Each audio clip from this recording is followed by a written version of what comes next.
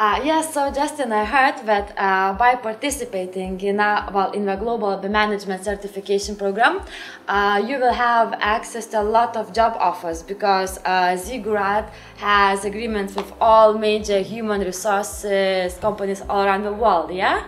Yeah, and these are companies that are worldwide, very many international companies all around the world, and the participants can expect to find a job as a BIM manager mm-hmm. or also other jobs as, for example, a BIM architect or a BIM engineer, BIM specialist, BIM coordinator, right? Yeah, and there are going to be like like certain countries like uh, Canada, Dubai, where job offers are going to be, or it's going to be from all over the world. All over the world, correct. So there's also jobs in Singapore, in India, in the UK, right? Yeah.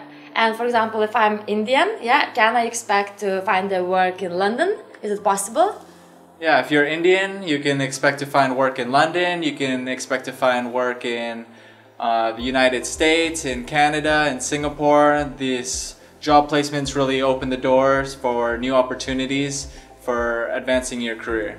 Yeah, well, I agree with you because I think that right now the demand of BIM managers is just very high since there are not many professionals who are actually able to work as a capable BIM manager. Yeah? Yeah, it's a job that's very much in demand right now. Yeah, perfect.